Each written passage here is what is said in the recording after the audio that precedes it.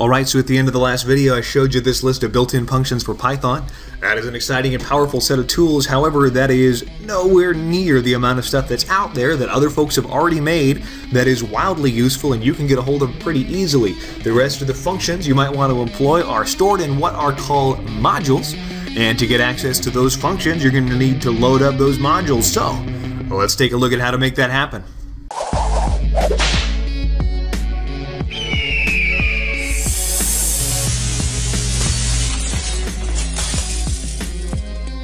So the way to get at the modules is through one of the built-in functions, and that is this import function.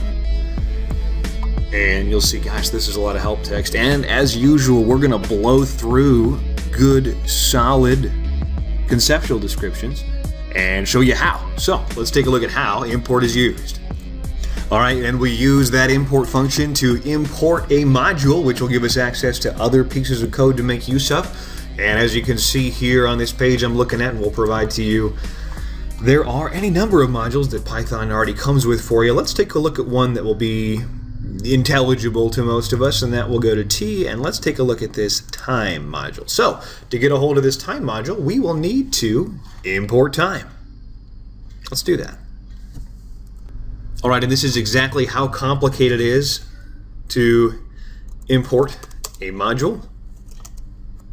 Done. Now we have access to all of the functions and features from that time module. So let's take a look and see just exactly what we got by doing that. So we have all these functions from within time. The one that I'm going to show you first is the function time. So to call a function that we've loaded from a module we've imported, we need to do like so, time dot time. Now I'll admit this is probably a poor choice for a first example because the function we're calling and the module we're calling it from have the same name, but in general you're going to use module.function for things you've imported um, when you import this way. As usual, there are multiple ways to do things, but time.time returns a big, long float number that represents right now.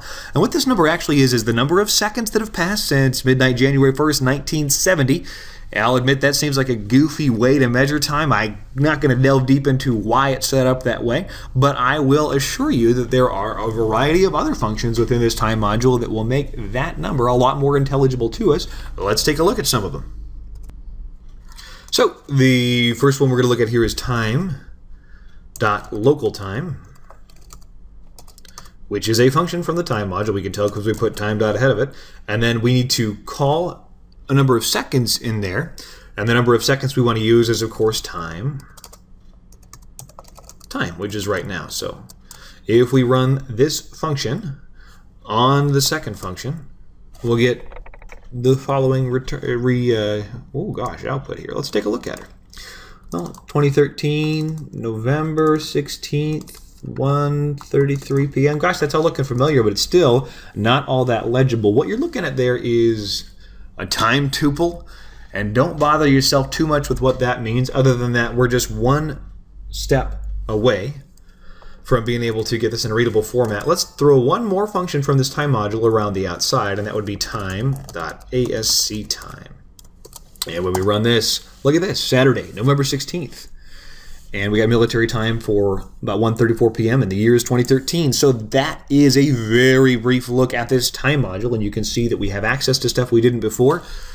Intuitively to most of you, that's very useful to be able to input, output, read, stamp, record what time things happened or how much time transpired between, between two things.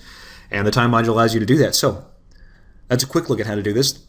As we move on, we will be using a lot more modules. Some of them are easier to get at than the way that time is measured, but just wanted to show you how you can get access to functions that aren't built in automatically into the interpreter by loading modules. So this is Ed for My Bring Back. Thanks for spending some time with us. We'll keep getting after it, build and build on what we've done, and get you to a point where you feel more than competent within Python. So follow us, share us with other folks, and keep coming back. We aim to satisfy.